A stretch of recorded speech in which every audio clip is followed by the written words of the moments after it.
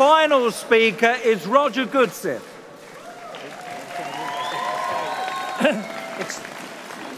My friend, it's an honour to be with you today at this critical juncture in Iran's history. I'm a Labour Member of Parliament in the House of Commons, and I join my colleagues from all the other parties in Parliament who are represented here today to stand in solidarity with you and the brave people of Iran who have risen up against the Ayatollahs and their murderous authoritarian regime. My friends, the time, the time for a change of policy towards Iran is long overdue.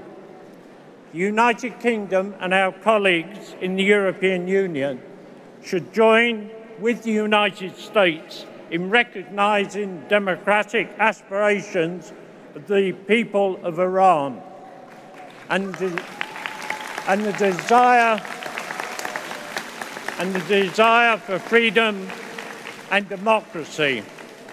European leaders must now recognize the mullahs regime for what it is. It's an it's a terrorist regime which exports terrorism through Hezbollah. And my friends, it can never be a partner for peace in the Middle East. The United Kingdom and the EU must recognise the NCRI and Madam Rajavi's 10 point plan for the future of Iran.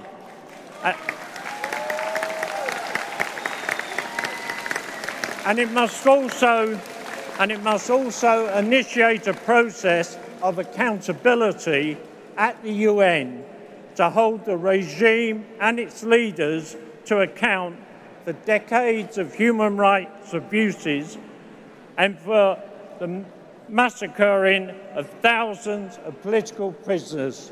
My friends, long live a free and democratic Iran.